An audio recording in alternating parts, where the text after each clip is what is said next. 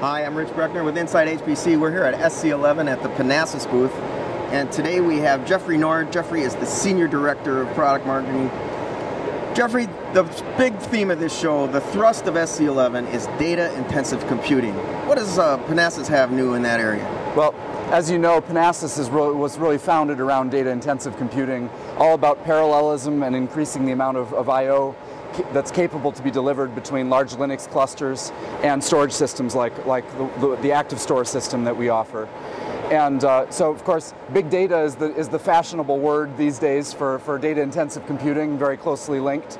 And you find that with all of our customers, whether it be in you know, the core commercial and government sectors or in the manufacturing space or bioinformatics uh, or oil and gas really across the board. And so um, in, the, in the past year, last year at Supercomputing, we launched ActiveStor 12 with a, a gigabyte and a half per second of throughput. Um, this, this past summer, we launched ActiveStor 11, which is, which is here uh, with me, which is a little bit more of a balance between performance and, and cost. Um, so that way we have a nice product portfolio with, uh, that, can, that can really meet a lot of our customers' needs. So what are we looking at here? This looks like a highly dense storage device. How much storage is here in this in this one? Yeah, so every single one of these shelves is 60 terabytes of storage. Um, so multiply that times 10 shelves, and you're you know at, a, at well well on your way towards a petabyte a rack, so 600 terabytes per rack, and then span span that out to 10 racks, and you've got uh, over six petabytes of storage. Now, are you adding bandwidth as you add the storage, or is it static? And that's that's something that's really pr pretty unique about Panasas is that every single blade that you add adds capability not only performance capability to the file system, but actually also for the support of the number of clients. So if you have a, a very large Linux cluster, some of our customer has have many thousands of Linux nodes. That's very difficult to support on a standard you know, NAS server. But with a parallel I.O. approach like this, no problem at all. So Geoffrey, I understand you guys did an announcement this week, and it's about making it easier to do business with Panasas on a worldwide basis. What was that about? Well, as you know, Panasas has been growing quite significantly over the last few years. And of course, we've always been selling as a, as a global company. Uh, but international sales expansion is very important to us, as well as expanding, uh, going beyond a, a, direct model to, to more engagement with channel partners.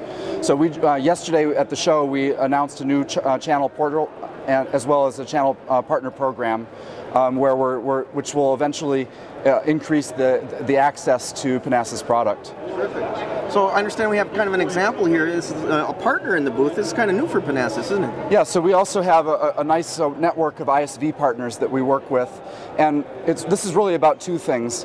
Uh, it, it's it's about convincing customers that, that, that their applications, after all, HPC is really about the application workloads at the end of the day. Nobody buys storage just to buy disks.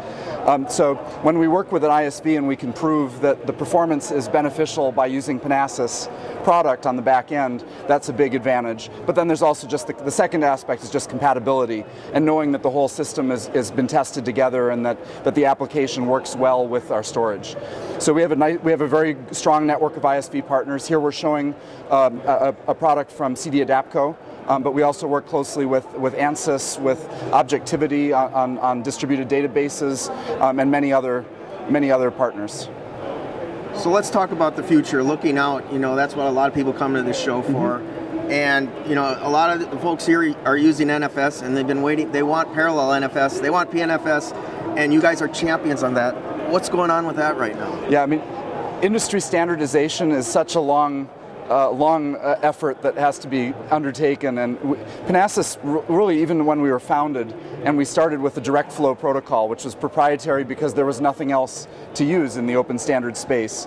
Um, it took us until 2010 to get um, PNFS finally in a, a, an actual standards document, which was the IETF NFS version 4.1 standard. Um, so that was many years in the making. So that was a major achievement. But then we've, we've also had multiple engineers working on the Linux kernel and the back, the, basically the, the back-end Linux support. Um, because again, without clients, it doesn't do any good to have server support. Uh, so as of the Linux 3.0 kernel, uh, which, which we hit uh, in uh, May, June this year, um, that actually was the first Linux kernel to include PNFS uh, in the kernel distribution. So now it's now it's time for Linux distribution support, and then for all of the storage vendors, including Panasas, to support PNFS directly out of our storage systems. So that's a that's a day that we're all looking forward to with uh, great anticipation. Now, is that represent when when that happens? Does Panasas just shift gears and everything's about that, or does it integrate more smoothly? How does that work? Well, it's going to be a parallel support for a long time. I guess that makes sense for a parallel company. Sure. But we, we have we have a lot of customers using DirectFlow today, maybe 90% of our customers. And so actually a lot of them care very much that we don't suddenly abandon DirectFlow because they're standardized on it. Um, but and, and realistically it may take one, two years or more before PNFS in the open source community stabilizes and gets to the high, a high enough performance to be really viable for, particularly in commercial environments. So, like all thing, like all good things, it takes time. But we're actually very, very proud of where PNFS is at, and we're very excited about it.